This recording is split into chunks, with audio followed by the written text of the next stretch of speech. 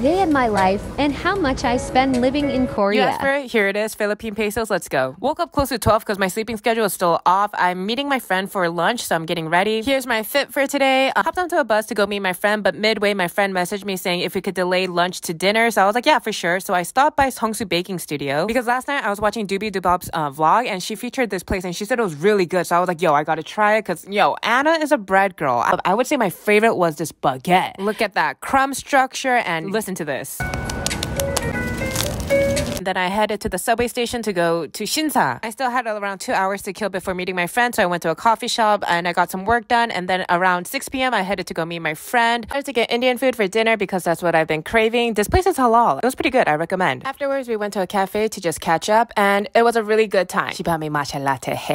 and then I went home, and that was pretty much it. Bye.